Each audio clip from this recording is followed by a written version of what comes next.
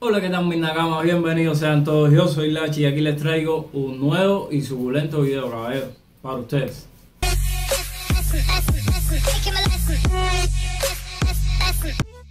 Bueno, en el video de hoy estoy estrenando una nueva sección en el canal. Estoy estrenando muchas secciones. Bueno, ¿de qué va esta sección nueva en el canal? Esta sección se llama Misterios Así que estas gafitas, estos abuelitos van a ser el símbolo de esta sección.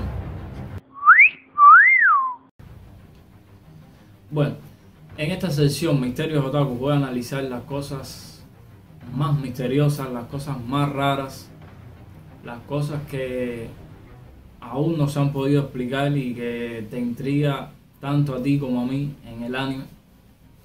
Todo este tipo de cosas, todo este tipo de aspectos misteriosos, raros en el anime, los voy a analizar en esta sección, misterios o otakus.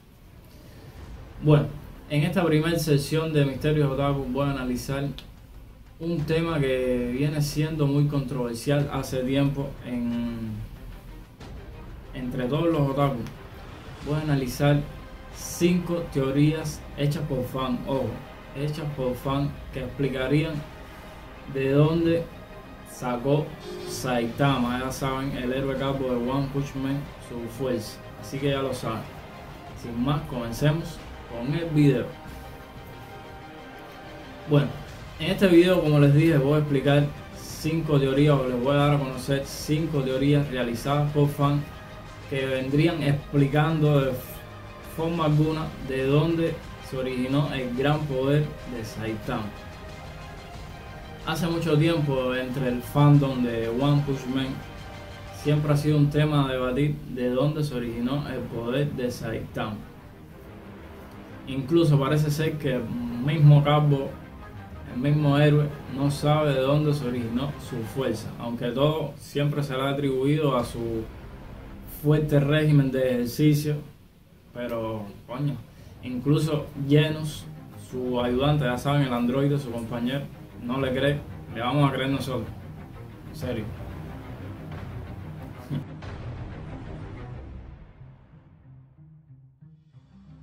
La quinta teoría que les traigo es de que todo es un sueño. ¿Se imaginan, mis nagamos?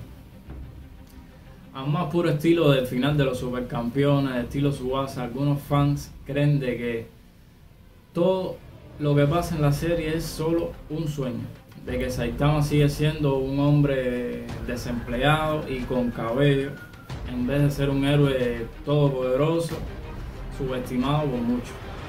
¿Me No creo que esta teoría sea cierta, que todo sea un sueño, puede ser posible. Todas estas aventuras todas son soñadas. Fuerte. Creo que sea cierto esta teoría.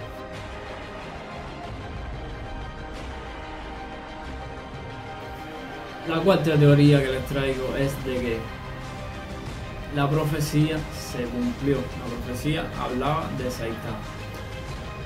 ¿Recuerdan la profecía de que, hablaron en la serie, pero que se contó a medias? no pudo, conocerse todos los detalles debido a que la vidente murió. Esta profecía que hablaron en la serie de que a la Tierra, al planeta, lo acechaba un gran peligro. Algunos creen de que este gran peligro que acecha la Tierra es nada más y nada menos que Saitama. ¿Te imaginas? Esto no, no, significa necesariamente de que Saitama se vuelva un villano, de que se vuelva malvado, sino de que el héroe, al no conocer los límites de su gran poder, cometa una falla o un error de cálculo y destruya la Tierra por error, que podría ser posible con la, fuerza que tienes en este campo, no dudes de que pueda destruir la Tierra sin querer y destruye la Tierra. Esto sería tan terrible como lamentable. Esta teoría tampoco creo de que vaya a cumplirse ni de que sea cierto. No me imagino que ya Saitama destruya la Tierra sin querer y ya se acabó la serie. No creo que sea.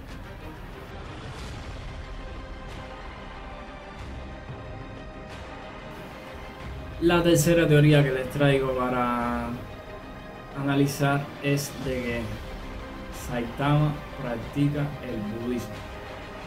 Esta teoría me gusta. Bueno, voy a explicar un poco esta teoría. Esta teoría expresa que Saitama alcanzó el Nirvana. El Nirvana no sé con exactitud lo que decirse de que es como el máximo nivel, lo más grande, la combinación de la meditación de un Buda, de uno de estos monjes, cuando alcanza el Nirvana, se vuelve a un ser eh, upgradeado. Bueno, esta teoría expresa que Saitama practica el budismo y alcanzó el Nirvana, por lo que se volvió un ser despierto, iluminado, ya sabes, un dios. Que podría ser cierto debido a que se pasó, se volvió más poderoso debido a que entrenó más su mente, no entrenó su cuerpo, sino entrenó más su mente. Esta teoría la apoya, podría ser cierto. La apoya eh, la forma de vida de Saitama, su forma de vida austera, solitaria, apoyan esta teoría. Esta teoría me gusta, pero no creo tampoco de que sea, de que hayan dado en el clavo, se podría decir, con esta teoría. Bueno, esta es la tercera teoría, que Saitama practica el budismo.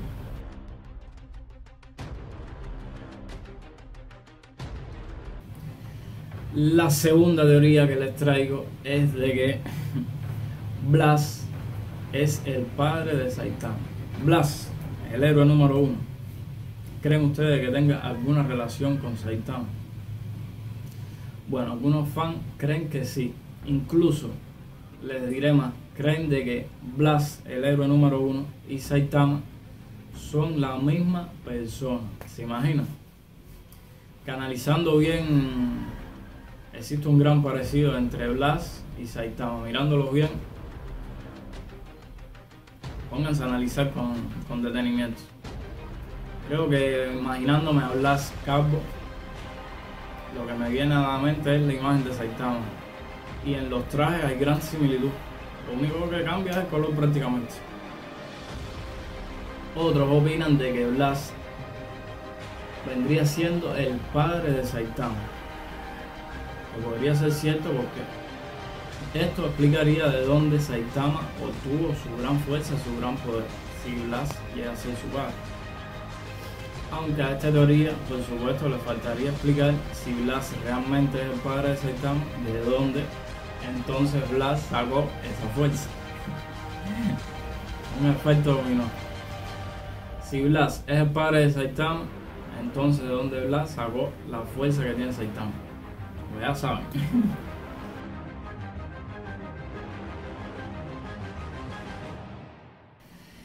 Y la primera teoría, la más apoyada por los fans, es de que Saitama, Midnagam, espero que esto nunca se cumpla de que Saitama se volverá un villano, se volverá bajo, se volverá el antagonista de la serie, Saitama.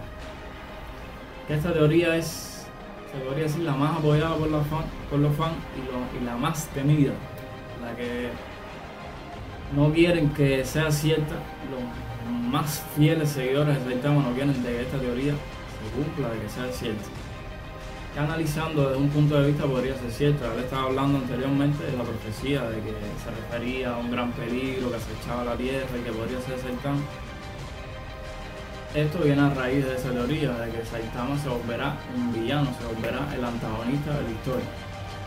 También, analizando esta teoría, podría ser cierto, debido a que Saitama se frustra, caballero. Saitama se siente mal porque no encuentra desafío, no encuentra un oponente digno de su poder. Podría ser de tanta frustración que tiene acumulada Saitama la descargue contra todo el mundo, ¿entiendes? Y se vuelva un ser malvado, un villano. Otros opinan más fuerte todavía de que Saitama eh, comió carne de monstruo, por lo que vendría siendo prácticamente un monstruo para venir las cosas más oscuras todavía. Bueno, mis nagamas, estos son cinco teorías hechas por fans que explican de dónde se originó el gran poder de Saitama. Les estaré haciendo otro video con la verdad que se sabe hasta ahora, la verdad que se sabe hasta ahora dicha por One, el mangaka que creó One Punch Man. Estaré haciendo otro video hablando sobre el origen de la fuerza de Saitama, la verdad que se conoce hasta ahora. Así que ya lo saben, hasta aquí el vídeo de hoy. Estos fueron cinco teorías hechas por fans que explican de dónde se originó el gran poder, la gran fuerza de este héroe calvo que tanto nos gusta. Y ya sabes, si, si tú tienes tu propia teoría o si conoces alguna otra teoría que explique el origen de esta fuerza descomunal que tiene este, este simpático calvo, déjamelo saber en los comentarios, estaré leyendo. Y ya lo saben, hasta aquí el vídeo de hoy. Esperen en un próximo video hablando sobre la verdad que se conoce del origen del poder de Saitama. Y si te gustó este video, dale un pulgar arriba si eres fan de Saitama, este capo simpaticísimo que rompe madres de un solo viñazo. Dale like a este video, dale un pulgar arriba, bien, bien arriba. Y recuerda suscribirte al canal cama que es gratis. Coño, Suscríbete para que seas más en la familia, para analizar más misterios otaku, para desentrañar todo lo raro que tenga el anime, tú y yo. Recuerden que esto es una nueva sección que estoy estrenando que se llama Misterios Otaku. Si tienes algún otro misterio, alguna otra situación dudosa, misteriosa del anime, déjamelo saber aquí abajo en los comentarios y yo investigaré, llegaré a fondo para dar con la verdad y llevártela a ti para que la conozcas. Si no estás suscrito al canal, suscríbete para aumentar los miembros de esta bonita, esta bonita, variada familia que es Hola Nakama. Y por supuesto, cuando te suscribas, dale a la campanita para que YouTube te notifique cuando subo un nuevo video. Los quiero mucho, cuídense pónganse al día con la serie de transmisión que están súper geniales, todas estas series que están saliendo, One Piece, Black Floyd, Boku no Hero, Nanatsu no Taisai, la nueva temporada, pónganse al día, vean mucho anime, otaculícense mucho más, otaculícense, otaculícense. y nos vemos en la próxima. Sayonara, baby.